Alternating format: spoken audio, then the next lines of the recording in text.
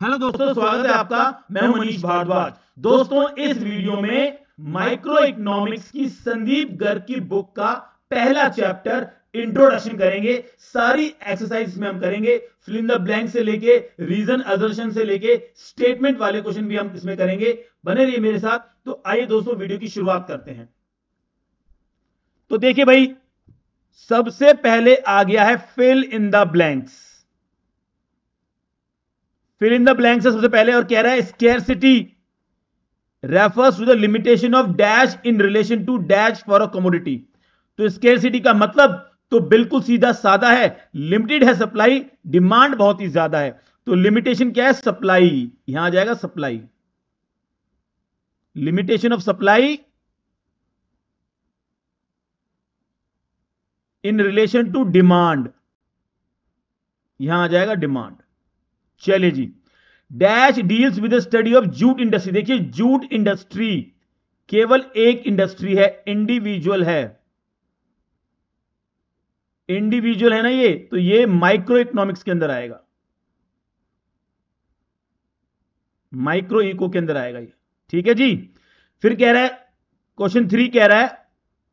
कह रहा है dash science deal with what ought to be और how the economic problem should be solve ये तो बेटा बहुत ही सिंपल सी बात है, जहाँ शुड भी आ जाए और जहाँ ओ टू भी आ जाए ओ टू भी आ जाए, समझ लो वो हो जाती है नॉर्मेटिव इकोनॉमिक्स तो ये हो जाएगा नॉर्मेटिव इकोनॉमिक्स नॉर्मेटिव इको हो जाएगा ये। ठीक है जी? क्योंकि शुड और ओ टू भी नॉर्मेटिव में आते हैं, उसमें सलाह दी जाती है ओपिनियन शो की जाती है। तो सलाह दी जा गई शुड आ गया नॉर्मेटिव इकोनॉमिक्स हो गया। अब क्वेश्चन फोर कह रहा है micro economics is that part of economics theory which study the behaviour of micro economics जो है वो, देखिए माइक्रो में आई है ना आई इस आई का मतलब ये individual individual unit of an economy economy की इंडिविजुअल यूनिट की स्टडी करता है माइक्रो इकोनॉमिक्स नंबर पाँच पे आ गया dash is the cost of next best alternative forgone तो भाई ये अपॉर्चुनिटी कॉस्ट ओसी की डेफिनेशन है। ओसी का मतलब क्या होता है? अपॉर्चुनिटी कॉस्ट अपॉर्चुनिटी कॉस्ट तो जो सेकंड बेस्ट ऑप्शन हम फॉरगॉन कर देते हैं फॉरगॉन का मतलब सेक्रीफाइस कर देते हैं।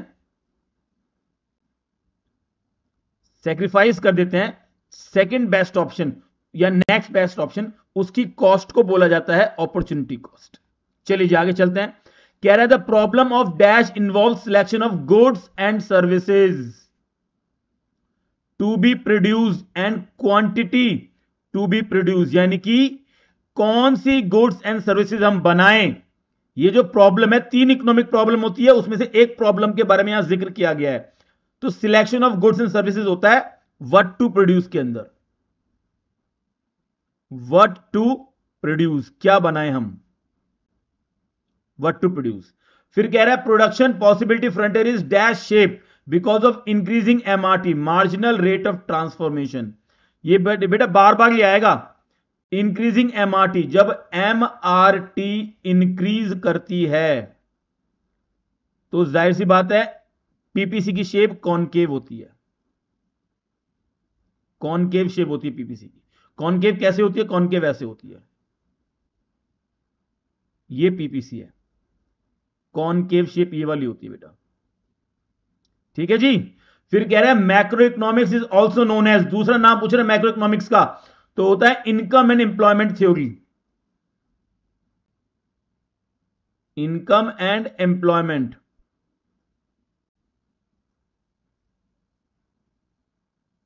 income and employment theory ये नाम है जी इसका। ये। ठीक है जी? ओके। कह रहे dash is known as price theory तो प्राइस थ्योरी बोलते हैं माइक्रो इकोनॉमिक्स को। माइक्रो इकोनॉमिक्स को प्राइस थ्योरी बोलते हैं। क्यों बोलते हैं माइक्रो इकोनॉमिक्स को? क्योंकि माइक्रो इकोनॉमिक्स के अंदर ही प्राइस का डिटर्मिनेशन होता है। चीज़ के प्राइस को डिटरमाइन किया जाता है, इसलिए इसको प्राइस थ्योरी बोलते हैं। प्राइस डिटर्मिनेशन चलिए आगे चलते हैं। कह रहा है dash is a system which provide people with mean to work and earn a living mean to work and earn a living यानी कि कमाई का साधन, कमाई। तो वो मिलती है इकोनॉमी इकोनॉमी वो सिस्टम है। इकोनॉमी वो सिस्टम है जिसमें लोगों को काम करने का साधन मिलता है और कमाई की जाती है। फिर इलेवन क्वेश्चन कह रहा है dash is dash is that part of economic theory which studies the behaviour of aggregates. ये देखिए, aggregates of economy as a whole. ये होल का मतलब क्या पूरी, होल का मतलब पूरा एंटायर, और एग्रीगेट का मतलब हो गया जोड़। ठीक है जी? तो ये मैक्रो इकोनॉमिक्स में होता है। मैक्रो इको में होता है ठीक है? चलिए, ट्वेल्व करते हैं। कह रहे dash economics deal with what are economic problem how are actually solve देखो जी एक्चुअली सॉल्व जो एक्चुअल की बात करता है, वो पॉजिटिव इकोनॉमिक्स होता है। पॉजिटिव इकोनॉमिक्स जो है, वो एक्चुअल की बात करती है। तो यहाँ आएगा पॉजिटिव इकोनॉमिक्स जो हो रहा है, वो बता देंगे। एक्चुअल में जो हो रहा है, उसे बता देंगे। सलाह नहीं देंगे। पॉजिटिव इकोनॉमिक्स वाले कभी सलाह नहीं देते, कभी एडवाइस नहीं देते। अब कह रहा है production possibility frontier is convex shape convex shape का हो सकता है जब एमआरटी क्या हो? एमआरटी डिक्रीजिंग हो। एमआरटी जब डिक्रीज करेगी, यानी कि जब एमआरटी फॉल करेगी तो पीपीसी क्या है? कॉन्वेक्स होगा, ऐसे होगा। ये कॉन्वेक्स है। ठीक है जी, चलिए आगे चलते हैं। कह रहे दो ब्रांच इकोनॉमिक्स की बताओ। भाई, दो ब्रांच तो सिंपल है माइक्रो और मैक्रो माइक्रो और मैक्रो। हो गया जी। फिर कह रहा है growth of resources shift the PPC towards अगर रिसोर्सेज बढ़ जाए, उनमें ग्रोथ हो जाए तो पीपीसी राइट वर्ड शिफ्ट हो जाएगा। राइट वर्ड शिफ्ट हो कैसे हो जाएगा? देखो ऐसे हो जाएगा। ये बना है पीपीसी और अगर ग्रोथ हो गई है रिसोर्सेज की तो पीपीसी ये राइट वर्ड शिफ्ट हो गया देखो ये। ये राइट वर्ड शिफ्ट हो जाएगा अगर ग्रोथ हो जाएगी रिसोर्सेज की तो चलिए आगे चलते हैं। 16 कह रहा है the part of economics which deals with the question of what how for whom to produce is known as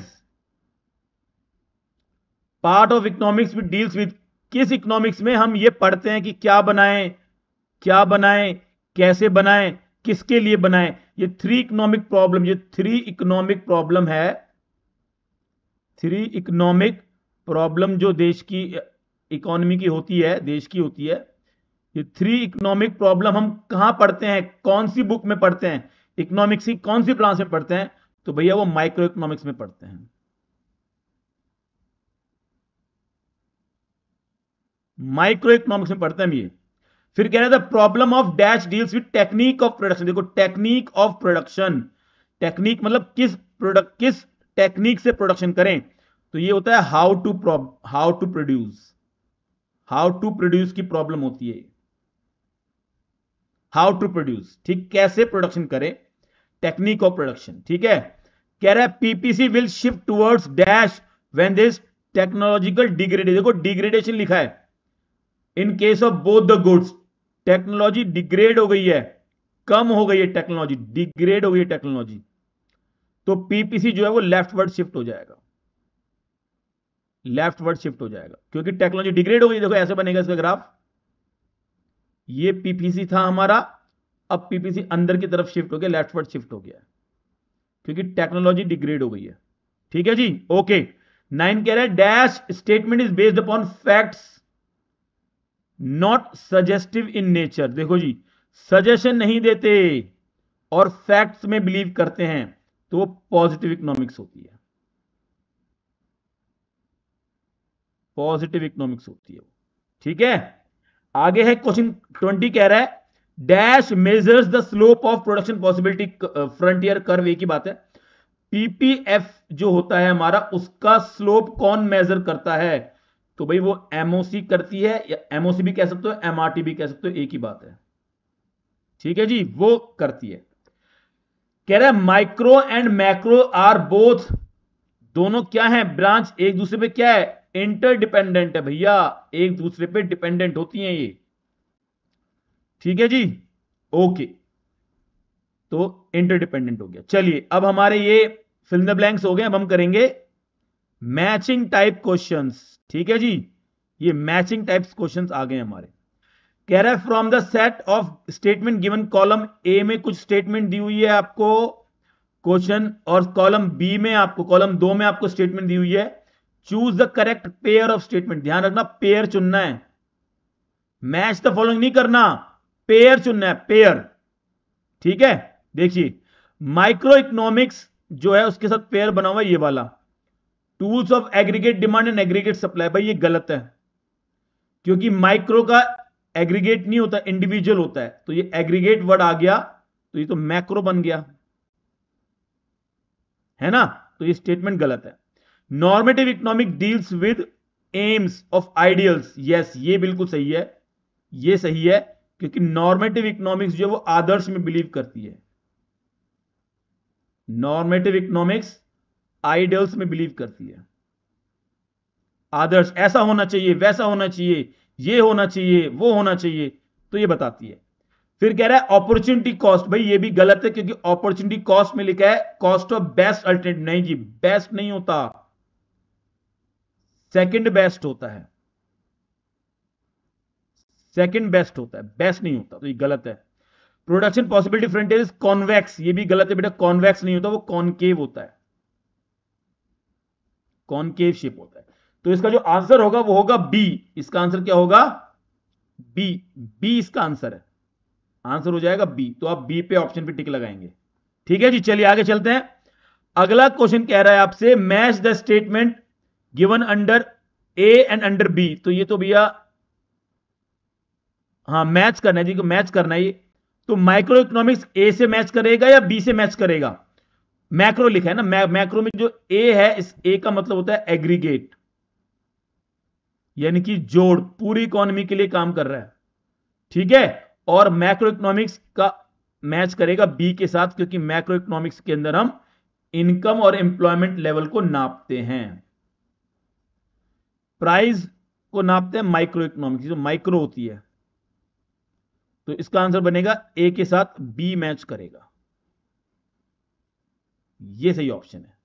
ठीक है जी? ओके आगे चलते देखो जी अब आगे चलते हम लोग। अगला आ गया, देखिए फिर मैच द फॉलोइंग आ गया। कह रहा है match the statement under A और करेक्ट ऑप्शन विद बी अब ये मैच करना है पेयर नहीं बनाना मैच करना है। तो पॉजिटिव इकोनॉमिक्स के साथ बनेगा बी क्योंकि वो सजेस्टिव नहीं होती है। नॉर्मेटिव इकोनॉमिक्स सजेस्टिव होती है, इसका बनेगा ए ठीक है जी?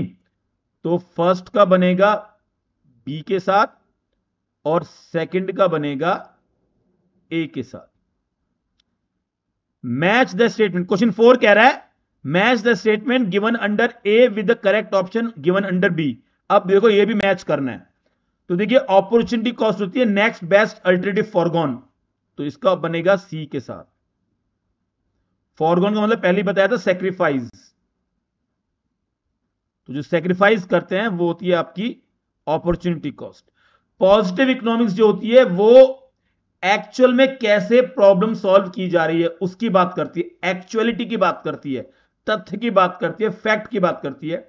तो इसका मिलेगा आप डी के साथ मिलेगा इसको, ठीक? क्योंकि यहाँ ना एक्चुअली सॉल्व ये है। प्रोडक्शन पॉसिबिलिटी कर्व का बेटा इसका मिलेगा बी के साथ, क्योंकि वो कॉन्केव शेप का होता है। ऐसे होता है पीपीसी कॉन्केव शेप का पीपीसी होता है। फिर लिखा है हाउ टू प्रोड्यूस भाई हाउ टू प्रोड्यूस के अंदर टेक्निक ऑफ़ प्रोडक्शन टेक्निक का इस्तेमाल होता है। तो हाउ टू प्रोड्यूस जो बनेगा, वो बनेगा ए के साथ। ठीक है जी? तो क्या बनेगा? फ़र्स्ट के साथ बनेगा सी का ऑप्शन सेकंड के साथ बनेगा डी का ऑप्शन थर्ड के साथ क्या बनेगा भाई? थर्ड के साथ बनेगा प्रोडक्शन पॉसिबिलिटी का बी का ऑप्शन, और फोर्थ के साथ बनेगा ए का ऑप्शन। चलिए आगे चलते हैं, मैच द फॉलोइंग आगे करते हैं। ये भी कह रहा है, match the statement with under A with correct option under B तो इसमें बेटा मैच द फॉलोइंग करना है। तो देखिए नॉर्मेटिव इकोनॉमिक्स जो होती है, वो सजेशन देती है। तो ए का बनेगा सी सजेशन देती है। तो ए का बनेगा सी माइक्रो इकोनॉमिक्स क्योंकि वो माइक्रो इकोनॉमिक्स जो होती है, वो इंडिविजुअल यूनिट पे काम करती है बेटा, है ना? तो माइक्रो इकोनॉमिक्स के अंदर transformation cum discovery cotton industry micro micro economics cotton industry एक ही इंडस्ट्री की बात कर रही है इंडिविजुअल की बात कर रहा है। इंडिविजुअल इंडस्ट्री की बात कर रहा है तो कॉटन इंडस्ट्री माइक्रो इकोनॉमिक्स के अंदर आएगा। यानी कि जो सेकंड का होगा, वो मैच करेगा डी के साथ। ग्रोथ ऑफ़ रिसोर्सेज अगर रिसोर्सेज बढ़ जाएँ तो भाई रिसोर्सेज अगर बढ़ जाएँ तो क्या होगा? रिसोर्सेज बढ़ जाए, वो डिस्कवरी ऑफ़ रिसोर्स से मैच कर रहा है। तभी तो रिसोर्स बढ़ेंगे, जब नई डिस्कवरी होगी न्यू नेचुरल रिसोर्सेज निकलेंगे तो ग्रोथ बढ़ेगी। तो जो थर्ड है ऑप्शन उसका होगा बी फोर्थ देखिए जरा फोर्थ क्या कह रहा है? फोर्थ कह रहा है व्हाट टू प्रोड्यूस तो क्या प्रोडक्शन करें? तो इसके अंदर आता है E option selection of goods and services to be produced तो फोर्थ का हो जाएगा ई e. और फिफ्थ कह रहा है प्रोडक्शन पॉसिबिलिटी कर्व ये ट्रांसफॉर्मेशन कर्व का दूसरा नाम है। ट्रांसफॉर्मेशन कर्व का दूसरा नाम है। तो ये हो जाएगा ए तो फिफ्थ का हो जाएगा ए ये अदर नेम है। पीपीसी को ही बोलते हैं ट्रांसफॉर्मेशन कर्व पीपीसी को ही ट्रांसफॉर्मेशन कर्व कहा जाता है। चलिए आगे चलते हैं। अब फिर से आगे बेटा मैच वाला। बेटा ये मैच वाले क्वेश्चन एग्ज़ाम में बहुत आते हैं बेटा, ध्यान से इसको करना है। तो ऑप्शन ए और अंडर ए और अंडर बी में आपको मैच करना है, ठीक है? कॉनकेव कब होगा? कॉनकेव कॉनकेव होता है जब एमआरटी इंक्रीजिंग होती है। ये कॉनकेव ऐसा होता है। ठीक है? और कॉन्वेक्स कब होता है? जब एमआरटी डिक्रीजिंग होती है। कॉन्वेक्स ऐसा हो जाता है। कॉन्स्टेंट में तो स्ट्रेट लाइन होता है। तो स्ट्रेट लाइन इन्होंने पूछा ही नहीं है। तो इन्होंने पूछा, concave increasing MRT convex decreasing MRT चलिए, आगे चलते हैं। कह रहे match the statement under A with correct option under B फिर ये दोबारा मैच करना है। तो देखिए मैक्रो इकोनॉमिक्स को इनकम एंड एम्प्लॉयमेंट थ्योरी बोलते हैं। और माइक्रो को प्राइस थ्योरी बोलते हैं। हो गया मैच कितना सिंपल था। है ना? अदर नेम दिया हुआ है। अदर नेम अदर नेम ये भी अदर नेम दिया हुआ है। अदर नेम माइक्रो का है और अदर नेम मैक्रो का है। ठीक है जी? ओके सेवन हमारा हो गया अब देखिए अदर्शन रीजन वाले क्वेश्चन आ गए। ये काफ़ी डिफ़िकल्ट क्वेश्चन होते हैं बच्चों। ये बहुत ध्यान से करने हैं। ठीक है जी? तो देखिए अदर्शन दिया हुआ है tools of micro economics are demand and supply बात बिल्कुल सही है भाई। माइक्रो इकोनॉमिक्स के जो टूल्स होते हैं, वो डिमांड सप्लाई होती है। बात बिल्कुल सही है। फिर कह रहा है भगवान। सॉरी बेटा। Micro economic studies the behaviour of individual unit ये बात भी सही है जी। दोनों बातें सही हैं। तो अगर दोनों बातें सही हैं तो सी ऑप्शन नहीं होगा क्योंकि इसमें तो एक फॉल्स दे रखा है। डी ऑप्शन भी नहीं होगा क्योंकि इसके अंदर भी एक फॉल्स दे रखा है। तो सी और डी तो होंगे नहीं, बात यहाँ पे खत्म हो गई। अब बचता है ए और बी तो ए और बी को पता लगाने के लिए आपको यहाँ बिकॉज़ लगाना पड़ेगा। ठीक है? और अगर हम बिकॉज़ लगा के देखते हैं तो ये लाइन नहीं बनती है। Tools of micro economics are demand and supply because micro economics studies the behaviour of intelligence नहीं बेटा, ये नहीं बनता है। ये तो आपको डेफिनेशन दी हुई है। ठीक है? और ये आपको इसके टूल्स दिए हुए हैं। तो दोनों बातें हैं सही, लेकिन आपस में कोई लिंक नहीं है, इसलिए आंसर होगा बी नॉट वाला आंसर होगा not related with the not explanation of A ठीक है जी, चलिए आगे चलते हम लोग।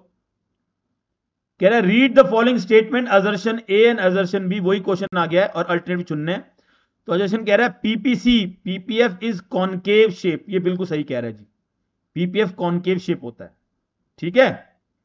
फिर कह रहा है PPF shows all the maximum possible combination of two goods which can be produce with the available resources and technology ये बात भी बिल्कुल सही कह रहा है। दोनों बातें सही हैं। और अगर दोनों सही हैं तो सी ऑप्शन भी नहीं होगा डी ऑप्शन भी नहीं होगा। क्योंकि यहाँ पे एक फॉल्स दिया, यहाँ पे भी एक फॉल्स दिया तो सी और डी को तो हटाई दो आप। अब ए और बी में देखते हैं क्या आंसर आएगा। यहाँ पे हम बिकॉज़ लगाते हैं। तो क्या ये इसका रीजन बनता है?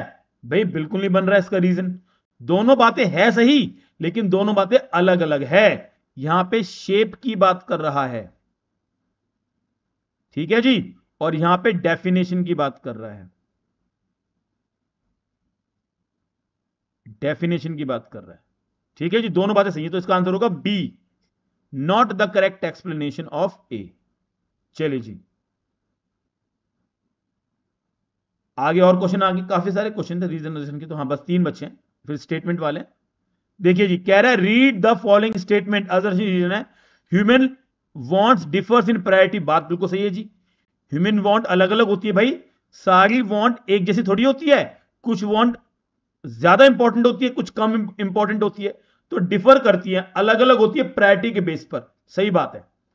For every individual some wants are more important and urgent as compare to other ये बात भी बिल्कुल सही है। यही तो एक्सप्लेनेशन है उसकी। दोनों बातें सही हैं तो सी और डी ऑप्शन तो होगा नहीं। क्रॉस लगा दो इनके ऊपर, क्योंकि इनमें एक फॉल्स दिया हुआ है। अब अगर यहाँ बिकॉज़ लगा के देखो आप बिकॉज़ लगा के देखो तो देखिए बात बिल्कुल सही बैठ रही है।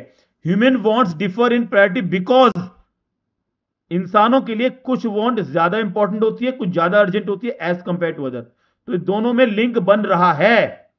तो ये इसका आंसर होगा A correct explanation of A R is the correct explanation of assertion ठीक है जी। फोर्थ क्वेश्चन देखते हैं। कह रहा है macro economics is also known as income and employment theory ये बात बिल्कुल सही है जी। ये अभी हमने फ़िल्म ब्लैंक्स में भी किया था और मैच द फॉलोइंग में भी किया था। कि मैक्रो इकोनॉमिक्स को इनकम एंड एम्प्लॉयमेंट थ्योरी बोलते हैं। फिर कह रहा है macro economics aim to determine income and employment level of economy भाई, इसलिए तो बोलते हैं उसको। तो ये बात भी सही है। दोनों बातें सही हैं तो सी और डी तो नहीं होगा। इसको वैसे ही क्रॉस लगा दो। अब यहाँ बिकॉज़ लगाओ। और बिकॉज़ लगाने के बाद साफ़ साफ़ पता लग रहा है कि उसका अदर नेम इसीलिए पड़ा है क्योंकि उसको इनकम एंड एम्प्लॉयमेंट को डिटरमाइन करती है। तो बिल्कुल इन दोनों में लिंक बन रहा है। तो आंसर होगा ए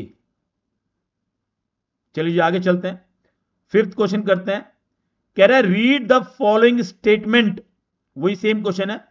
पॉजिटिव इकोनॉमिक्स अवॉइड अजर्शन कह रहा है positive economics avoid economic value judgement सही बात है जी। पॉजिटिव वाले जजमेंट नहीं देते। पॉजिटिव वाले समस्या बताकर छोड़ देते हैं जजमेंट नहीं देते। Positive economics can be verified as true और false by comparing the actual data. ये बात भी सही है। दोनों बातें सही हैं, इसलिए सी ऑप्शन भी नहीं होगा, डी ऑप्शन भी नहीं होगा। अब ए और बी में देखते हैं। तो भाई ये वैल्यू जजमेंट वाला अलग पॉइंट है, वेरिफिकेशन वाला अलग पॉइंट है। यहाँ पे वैल्यू जजमेंट की बात की गई है। और यहाँ पे वेरिफिकेशन की बात की गई है।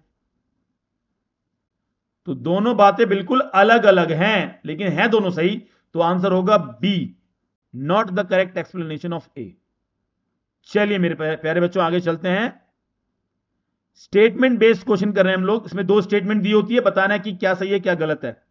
तो स्टेटमेंट वन कह रहा है scarcity is universal as every individual organisation economic faces scarcity of resources ये बात सही है भाई स्केरसिटी यूनिवर्सल होती है और क्योंकि सभी लोगों को, सभी को फेस करनी पड़ती है, कोई ये नहीं कह सकता कि हमें किसी चीज़ की कमी नहीं है। स्केरसिटी सभी को फील होती है। फिर कह रहा है स्टेटमेंट टू कह रहा है there would have been no economic problem if resources were not scarce ये बात बिल्कुल सही कह रहा है जी। No scarcity equals to no problem कोई दिक्कत ही नहीं होती। अगर सब कुछ अनलिमिटेड होता हमारे पास किसी चीज़ की कोई कमी नहीं होती। तो क्या बात थी भाई? फिर तो इकोनॉमिक्स भी नहीं होती, कोई प्रॉब्लम भी नहीं होती। दोनों स्टेटमेंट सही है तो आंसर होगा A both the statements are true चलिए आगे चलते हैं। क्वेश्चन टू कह रहा है रीड द फॉलोइंग मतलब वही है सेम वाला क्वेश्चन है स्टेटमेंट वाला क्वेश्चन है। स्टेटमेंट वन पढ़ते हैं, कह रहा है positive economic statements are statement of truth ठीक है जी? Positive economics aim to make real description of an economic activity दो बातें कह रहा है। अच्छा देखिए, जो पहली बात कह रहा है यह बात गलत कह रहा है, वो फॉल्स भी तो हो सकता है। वो तो वेरीफाई करने के बाद पता लगेगा कि बात सही है या गलत है। लेकिन पॉजिटिव इकोनॉमिक्स में फॉल्स स्टेटमेंट भी आती है। जैसे मान लीजिए, अगर मैं आपसे कहूँ कि सूरज पश्चिम से उगता है वेस्ट से उगता है तो ये स्टेटमेंट भी पॉजिटिव स्टेटमेंट हालाँकि गलत है ये, लेकिन पॉजिटिव स्टेटमेंट है। इसको आप वेरीफाई कर सकते हो, सुबह उठो और देखो सूरज कहाँ से उग रहा है। ईस्ट से उगता है। तो इसको वेरीफाई किया जा सकता है, इसलिए पॉजिटिव है। तो पॉजिटिव सिर्फ़ ट्रुथ वाली होंगी, ये बात सही नहीं है फॉल्स वाली भी हो सकती है। तो पहला पॉइंट गलत है हमारा। फिर पॉजिटिव इकोनॉमिक्स रियल डिस्क्रिप्शन देती हैं, ये बात बिल्कुल सही है। रियल डिस्क्रिप्शन देती हैं। इकोनॉमिक एक्टिविटी का ये बात सही है तो स्टेटमेंट टू सही है। टू स्टेटमेंट देखो कहाँ है। Two is true one is false तो आंसर होगा डी चलिए जी, आगे चलते हैं। बस ये लास्ट पेज है। कह रहा है स्टेटमेंट वन कह रहा है M R T measures the slope of PPC बिल्कुल सही बात है एम आर टी स्लोप को मेजर करती है।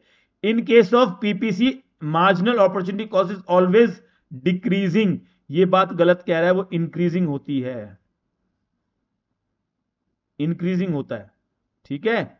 एमओसी को एमआरटी भी कहा जा सकता है। वो इंक्रीजिंग होता है तो स्टेटमेंट टू गलत है जिसकी स्टेटमेंट टू गलत है। तो स्टेटमेंट टू इज़ फॉल्स कहाँ लिखा है? ये लिखा है statement two is false answer होगा सी स्टेटमेंट वन सही है स्टेटमेंट टू फॉल्स है। चलिए आगे चलते हैं।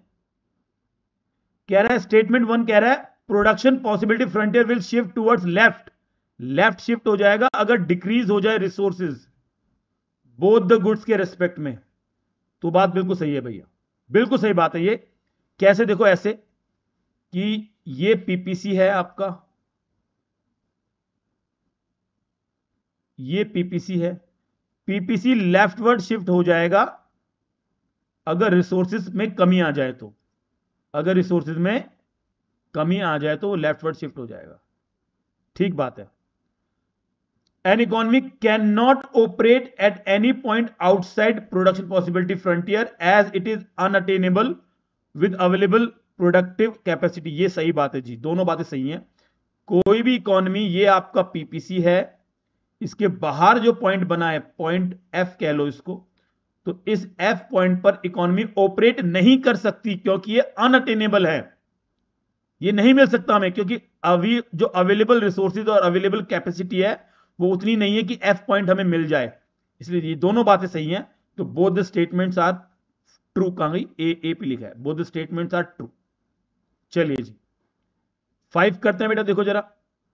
कह रहा है स्टेटमेंट वन कह रहा है M R T increases because it is assumed that all the resources are equally efficient in the production of all goods ये बात बिल्कुल गलत कह रहा है। इक्वल नहीं होता नॉट इक्वली एफिशिएंट ये सही स्टेटमेंट होगी। ठीक है?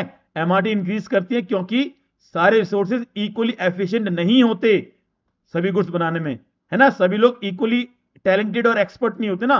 कुछ ज़्यादा एक्सपर्ट होते हैं, कुछ कम एक्सपर्ट होते हैं। स्टेटमेंट टू कह रहा है exist direct relationship between change in quantity of one commodity and change in quantity of other commodity in case of production possibility frontier नहीं जी डायरेक्ट रिलेशन नहीं होता। डायरेक्ट रिलेशन का मतलब वो ये कह रहा है कि जितना सेक्रीफाइस उतना गेन ये कह रहा है डायरेक्ट रिलेशन तो ये तो ये तो नहीं होता बेटा, ये तो गलत है। सेक्रीफाइस ज़्यादा होता है। सेक्रीफाइस ज़्यादा होता है गेन कम होता है। तो डायरेक्ट रिलेशन तो नहीं हुआ ये। तो ये भी गलत कह रहा है। बोथ स्टेटमेंट्स आर फॉल्स तो आंसर होगा बी लास्ट क्वेश्चन है स्टेटमेंट कह रहा है माइक्रो इकोनॉमिक्स एम करती है प्राइस को डिटरमाइन करने के। ये बात बिल्कुल सही है। फिर कह रहा है माइक्रो इकोनॉमिक्स को बोला जाता है इनकम एंड इंप्लॉयमेंट ये बात गलत है बेटा। इनकम एंड इंप्लॉयमेंट जो माइक्रो को नहीं बोलते, बल्कि मैक्रो को बोलते हैं। तो स्टेटमेंट टू गलत है वन सही है। तो statement one is true statement two is false option होगा सी ठीक है जी? तो प्यारे बच्चों, यहाँ मैंने आपको सारे इसके एक्सरसाइज करा दिए। एमसीक्यू में अलग से बनाता हूँ तो एमसीक्यू आप अलग से देख सकते हो। ये एक्सरसाइज मैंने यहाँ करा दी है। तो अगर आपको वीडियो पसंद आई है तो दोस्तों, वीडियो को लाइक कर देना। चैनल पे नए हैं तो सब्सक्राइब कर लेना। और अगर ये वीडियो आपके किसी दोस्त का, को या रिश्तेदार को काम आ सकती है तो उनको तुरंत शेयर कर देना। एक और वीडियो में आपसे फिर मुलाकात होगी। तब तक के लिए थैंक यू सो मच नमस्ते।